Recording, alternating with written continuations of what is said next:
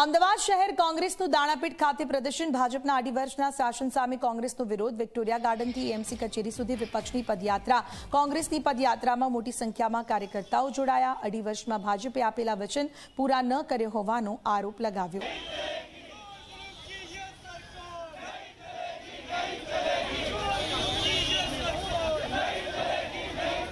અમદાવાદ મહાનગરપાલિકાના mayor standing સમિતિના chairman સહિતના હોદ્દેદારોની અઢી વર્ષની મુદત પૂર્ણ થઈ છે. નવા હોદ્દેદારો કોણ છે તે માટે ફોર્મ ભરાયા છે. તેની સામે વિપક્ષ દ્વારા વિરોધ પ્રદર્શન ધરના પ્રદર્શન થઈ રહ્યા છે. વિક્ટોરિયા ગાર્ડનથી માંડીને અમદાવાદ મહાનગરપાલિકાની કચેરી સુધી એક પદયાત્રા યોજવામાં જેમાં મોટી સંખ્યામાં લોકો જોડાયા. કોંગ્રેસનો સીધો આક્ષેપ છે કે ભાજપનું અઢી વર્ષનું શાસન એટલે કમર તોડ ટેક્સ વધારો. ભાજપનું અઢી વર્ષનું શાસન એટલે તૂટેલા રોડ. ભાજપના અઢી વર્ષની શાસનનો ઉત્તમ નમૂનો નિષ્ફળતાનો રજૂ થતો હોય તેવું તેમનો આક્ષેપ છે વાત કરીશું.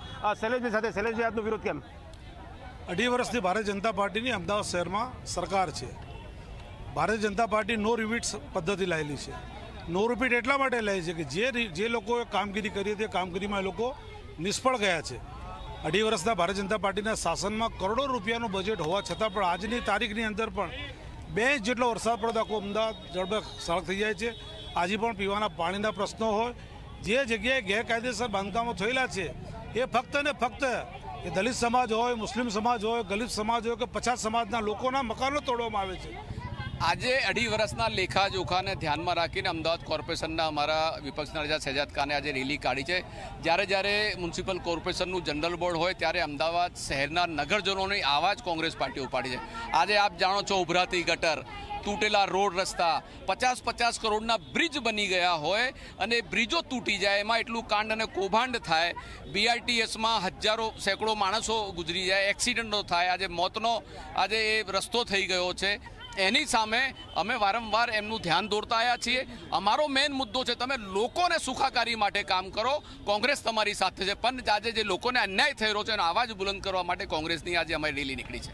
શહેજાદ અઢી વર્ષના भाजपा शासन लेखा विरोध, केम? पिछले ढाई वर्ष में भारतीय जनता पार्टी ने अहमदाबाद शहर की जनता को परेशान करने के अलावा और कुछ नहीं किया। सत्रह साल में पहली बार इतने बड़े टैक्स बढ़ोतरी की गई। एएमटीएस बीआरटीएस के भाव बढ़ोतरी की गई। 24 घंटा पानी देने का वादा किया था, एक घंटा ठीक से पानी नहीं आता। बरसात का मुद्दा हो, एक इंच बरसात में पूरा अहमदाबाद शहर डूब जाता हो।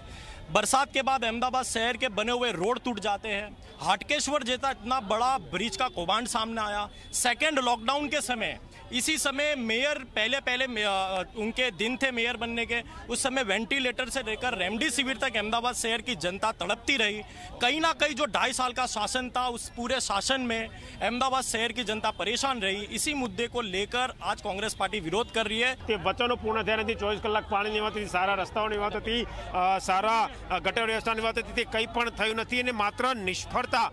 અઢી વર્ષના ભારતીય જનતા પાર્ટીના શાસનમાં લોકોને હાથ લાગી છે, જેનો વિરોધ અમદાવાદ મહાનગરપાલિકાના વિપક્ષના નેતાની આગેવાનીમાં થઈ રહ્યો છે.